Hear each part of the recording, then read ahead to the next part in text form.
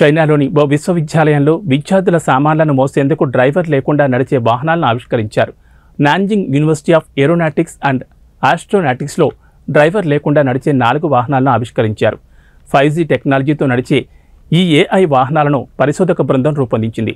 యూనివర్సిటీలో కొత్తగా చేరిన విద్యార్థులు వీటి ద్వారా తమ భారీ లగేజీలను సులభంగా తరలించవచ్చని వీటి రూపకర్తలు తెలిపారు.